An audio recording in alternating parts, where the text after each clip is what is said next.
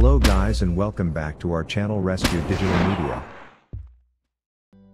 Today, in this video, I will show you how to fix printer not showing in Adobe Reader with 6 quick fixes. But before that, like, subscribe and ring the bell icon to get notified when our new video lands. Let's move on to fix the error. Solution 1. Check your printer connection. The first thing to do is ensure your printer is correctly connected to your computer. Sometimes a loose cable or a faulty connection can be the root cause of the problem.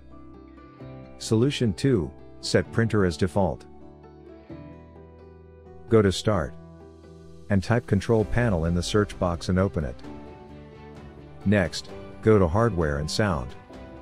Select Devices and Printers. Now right click on your printer select Set as Default Printer. Solution 3.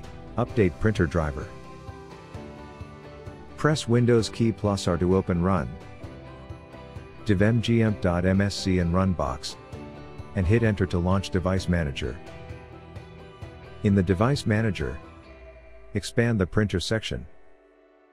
Right-click on your printer and select Update Driver. Click on Search automatically for updated driver software option. Solution 4 Repair Adobe Acrobat installation. Launch the Adobe Acrobat Reader app on your computer. Click on Help and select Repair Installation. In the new dialog box, click Yes for the Are you sure you want to repair the current installation message. Adobe Reader will initiate the repair process which might take some time. So wait till it is completed. Solution 5 Check for Adobe Acrobat updates. Follow the steps below, launch the Adobe Reader program, head over to Help. Check for updates to start the process. If you get the dialog box that says an update is available, click Download and install to proceed with the process. Close the Acrobat Reader once the download is completed, and click on the newly downloaded .exe file to install the latest version of Adobe Reader. Once the latest update is installed successfully, test if the Adobe Reader works well now. Solution 6. Run Printer Troubleshooter. Simply follow the steps, go to Start, and select Settings. Click on Update and Security.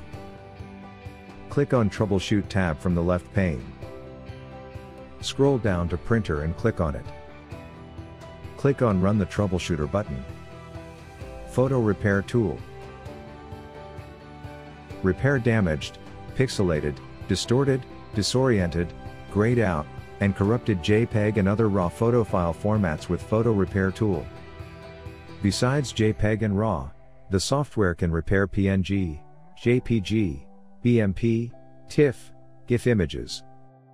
Now, Let's look at the steps to use the software. Step 1.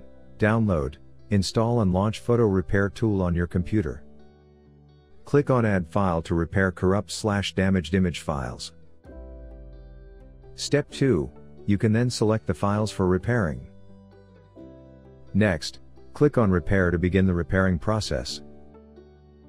Step 3. Finally, click on Save button to preview and save repaired images on your desired location on the computer.